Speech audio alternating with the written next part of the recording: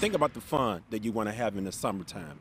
This is one of those uh, events that you can have fun and, and you can meet other people in the community and learn from each other. So for me, I think it's a disservice to the community not having it. After a lot of back and forth, RibFest will not happen this year. The news coming as a bit of a surprise as other bigger festivals like Lolla, as you heard, are a go.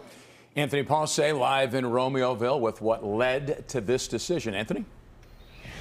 Yeah, Corey and Dawn, sadly, this decision came down to finances. Organizers of RibFest, which was set to take place here in uh, Romeoville, uh, say that with local uh, restrictions in terms of capacity still in effect, even though that Illinois is in the bridge phase right now, they say that there is a very real possibility that uh, hosting RibFest this year uh, wouldn't even break even for an event that is traditionally a big fundraiser for charity it's a, it's disappointing for sure. For me, I think it's a disservice to the community not having it.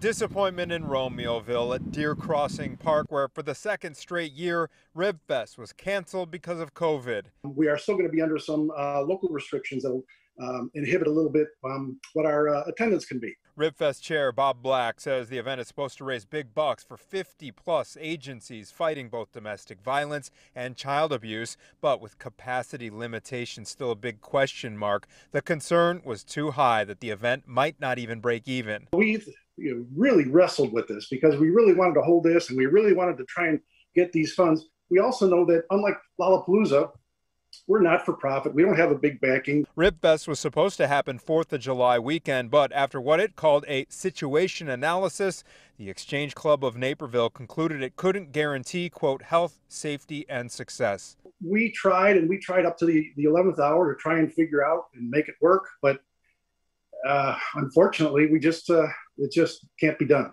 It's outdoors. I think um, with some guidelines, it, it should be okay.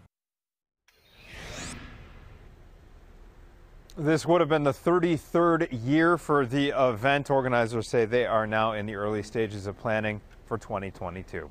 We are live tonight in Romeoville. Anthony Ponce, Fox 32 News.